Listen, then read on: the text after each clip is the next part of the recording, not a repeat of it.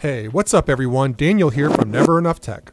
Oh, I thought I would throw you a curveball and unpack the $1,000 Vizio Elevate. A 5.1.4 soundbar system and winner of a 2020 Red Dot Design Award. Just an unboxing and an overview today.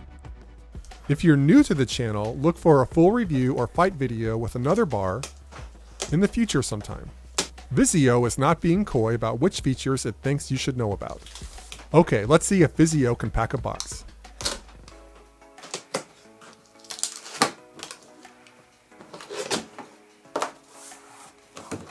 First, we got an accessories box. Gonna commend Vizio on this. This seems a lot more sane than having several baggies scattered all over the place. Making fun of you, SN11RG. Digging further. Next we've got, well, I live in Michigan, gonna guess two small blocks of Mackinac Island fudge, or less likely, just looking at size, the surround rear speakers.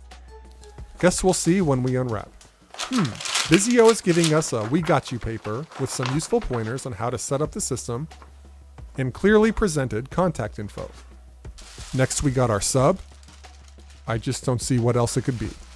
And finally, I'm quite sure the unbearably braggy soundbar with its the fudge blocks and or surrounds got nothing even close to that.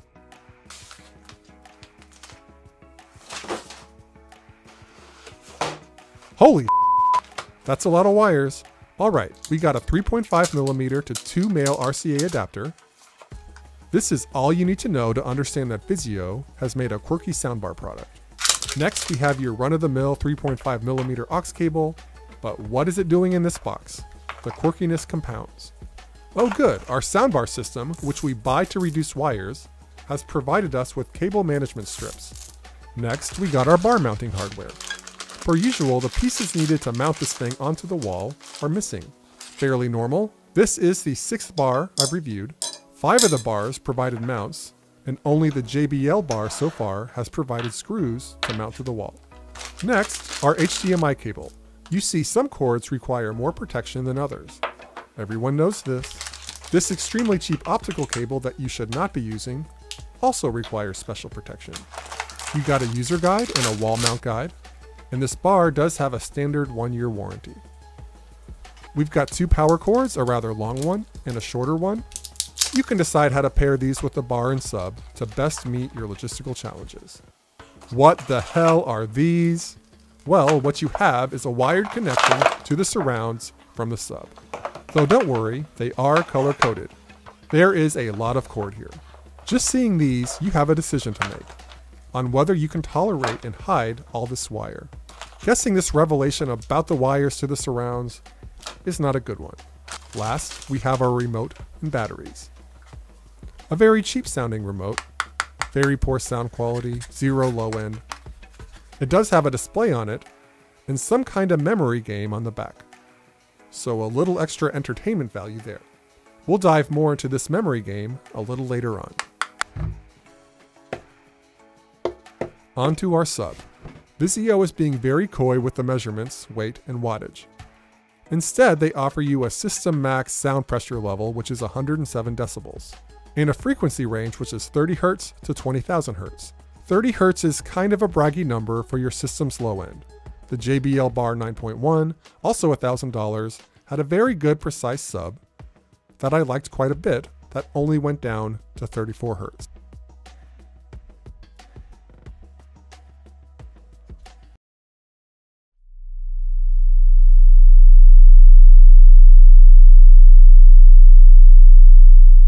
These subs are always very bland, this one is no exception. Other than the back and bottom, the only thing that breaks up the canvas of dark gray is the Vizio logo on the top right corner. On the back, you have a port for power, a button for connection purposes, and your ghastly connections to the left and right rear surrounds. Also, you have your obligatory gaping air intake hole. Don't look at it too long, it might evoke despair. On the bottom, you have your four legs with rubber coating on the feet and an 8 inch driver. Looks cool, sounds subby, though the JBL has a much softer landing.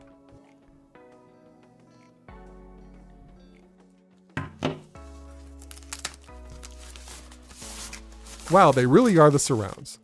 Not much to say here other than it's hard to communicate just how much smaller and lighter these surrounds are than their peers.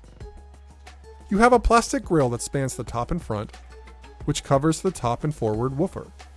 These surrounds don't have that extra hardware weight that would come from being independently powered or converting a digital wireless signal to analog. The wired connection is on the back of these speakers.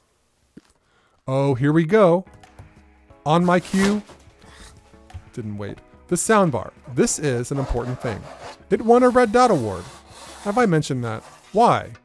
Well, because of its anodized aluminum speaker housing and its rotating speakers on the end, which can mutate the bar from, let's say, a 5.0 channel bar with five ear level channels to a 3.0.2 bar, converting the left and right ear level channels to height level channels.